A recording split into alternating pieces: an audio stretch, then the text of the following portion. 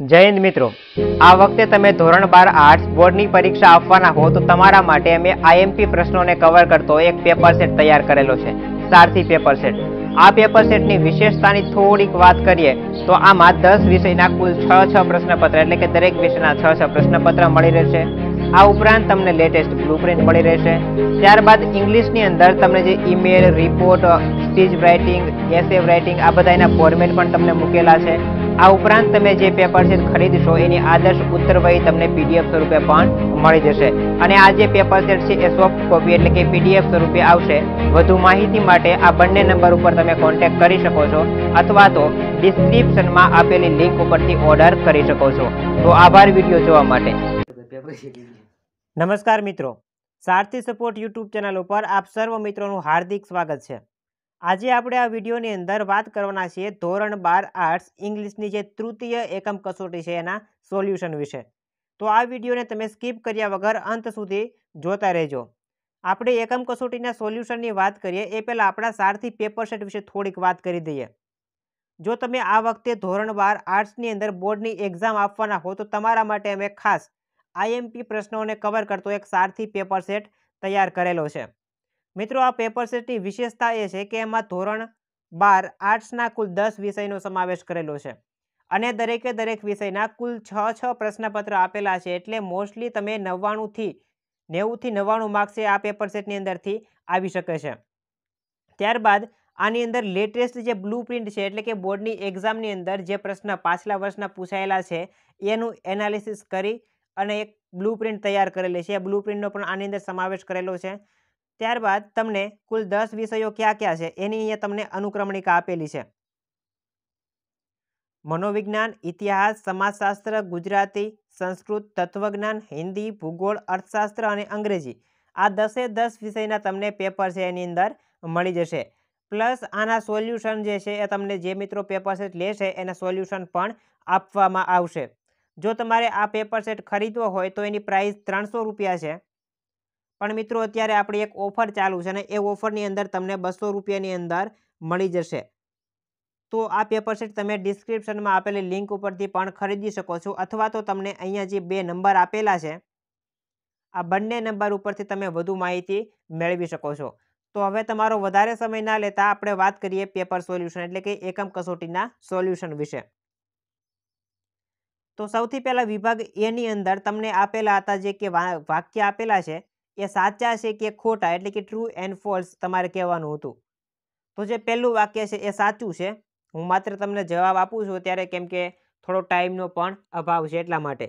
અને બીજું વાક્ય છે એ પણ સાચું છે. ત્યારબાદ ત્રીજું વાક્ય છે એ ખોટું છે એટલે કે ફેલ્સ આવશે. એના પછી ચોથું, પાંચમું અને છઠ્ઠું.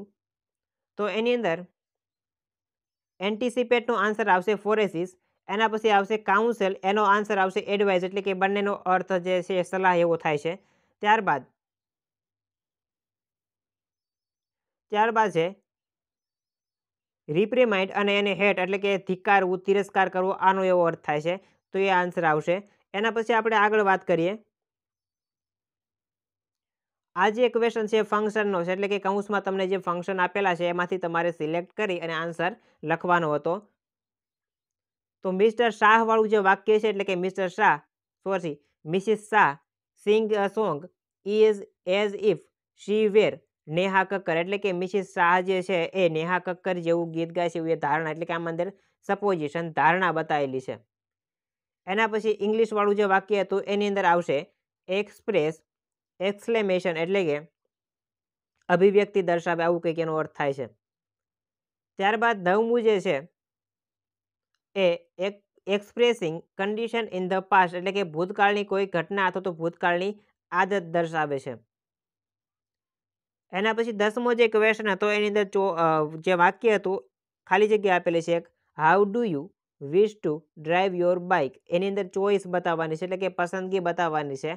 તો અહીંયા આપેલું છે જવાબ સી આવશે.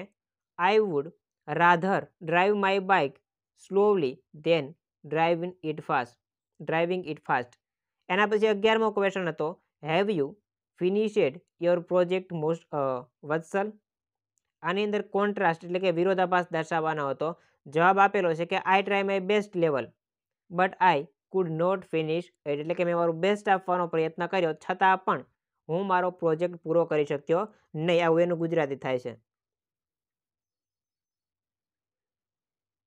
ત્યારબાદ અહીંયા જે અંડરલાઇન કરેલો શબ્દ છે, એ શબ્દની જગ્યાએ આપણે કહી શકીએ કે આખું ક્વેશ્ચન માર્કવાળું એટલે કે ક્વેશ્ચન વાક્ય બનાવવાનું છે. આજે છે એનો આન્સર આપેલો છે, પણ એને લગતો ક્યાં સંયોજક અથવા તો ક્યાં ક્વેશ્ચન વર્ડ વડે આપણો પ્રશ્ન પૂછીએ તો એનો આન્સર મળે. તો અહીંયા આપેલું છે કે you should think twice before you speak એટલે કે તમારે બે વાર વિચારવું જોઈએ બોલ્યા પહેલાં, એટલે કે બોલ્યા પહેલાં તમારે બે વાર વિચારવું જોઈએ, આવું થાય.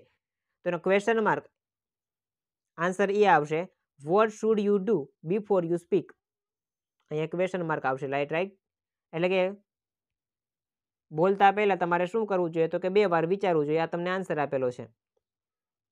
એના પછી તેરમો ક્વેશ્ચન હતો, Nana also keep quarrelling with Nani for silly reason એટલે કે નાના છે, નાની શા કારણે નારાજ થતા એનું કારણ? તો અહીંયા ડી, બી જે છે આન્સર આવશે. Why did Nana keep quarrelling with Nani એના પછી સેક્શન બી પેરેગ્રાફમાંથી મોસ્ટલી બધા ક્વેશ્ચન છે ગોતવાના હતા. ઇઝી જ હતા. પ્રશ્ન ચૌદમો છે વુ વોઝ અ સાયકાટ્રિક એટલે કે સાયકાટ્રિક કોણ હતા? તો અહીંયા જ આપેલું છે કે ડૉક્ટર કેડી કાંબલે. ત્યારબાદ ક્વેશ્ચન નંબર પંદર છે કે ડીડ નાના આન્સર મોસ્ટલી તો એનો જવાબ અહીંયા આપેલો જ છે. નાના છે મોસ્ટ ઓફ ટાઈમ શું કરતો તો કે મોસ્ટ ઓફ ટાઈમ નાના જે છે કીપ ક્વાઇટ એટલે કે સાયલેન્ટ એટલે કે મૂંગા રહેતા, કોઈની સાથે બોલતા નહીં. એના પછી બીજો એક પેરેગ્રાફ આપેલો છે અને એમાંથી ક્વેશ્ચન હતા કે who was about eighty five year old તો એની અંદર જવાબ આવશે નાના. એટલે કે નાના જે છે એ એટી ફાઇવ એટલે કે પંચ્યાસી વર્ષના હતા. અહીંયા તમને આપેલું છે કે હી આપેલું એટલે કોઈ પુરુષ માટે વપરાય. જ્યારે સી આપેલું હોય તો કોઈ સ્ત્રી માટે વપરાય. તો અહીંયા હી આપેલું છે અને અહીંયા આપેલું છે કે એટી ફાઇવ તો આ પેરેગ્રાફમાં નાના અને નાની સિવાય બીજા કોઈની વાત છે નહીં, એટલે નાના આવશે. જ્યારે સત્તરમો ક્વેશ્ચન જોઈએ.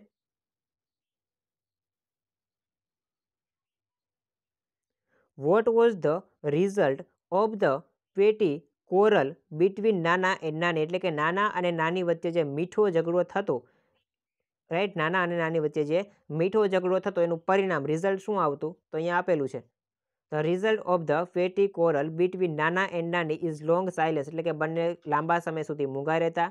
તે વુડ સ્ટોપ ટોકિંગ એટલે કે એકબીજા સાથે stop talking to each other. એટલે કે એકબીજા સાથે બોલવાનું બંધ કરી દેતા. ઘણા દિવસો સુધી એકબીજા સાથે બોલવાનું બંધ કરી દેતા. આવું એનું ગુજરાતી થશે.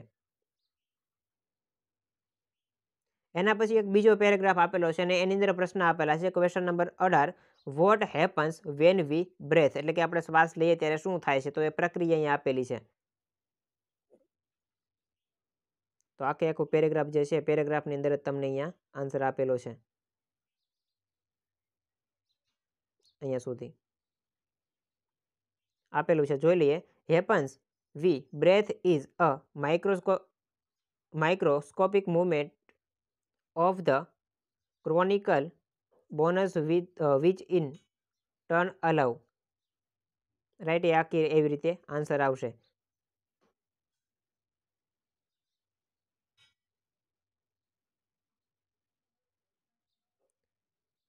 ત્યારબાદ વિભાગ સીની અંદર જોઈએ તો વિભાગ સીની અંદર એક કાવ્ય પંક્તિ આપેલી તેને કાવ્ય પંક્તિમાંથી આપણે જવાબ લખવાના હતા. તો આખી આખું જે સંપૂર્ણ સોલ્યુશન છે એની પીડીએફ ફાઇલની લિંક તમને હવે ડિસ્ક્રિપ્શનની અંદર આપેલી છે. ત્યાંથી તમે ડાઉનલોડ કરી લેજો અને આ ઉપરાંત તમે બીજા કોઈ ધોરણની અંદર અભ્યાસ કરતા હો અને તમારે એના પેપર સોલ્યુશન જોઈએ તો એની લિંક પણ તમને ત્યાંથી મળી જશે. પીડીએફ ફાઇલ તમે ડાઉનલોડ કરી શકશો. તો આભાર મિત્રો, વિડીયોને પૂરો જોવા માટે મળીએ છીએ નવા વીડિયો સાથે. જય હિન્દ, જય ભારત.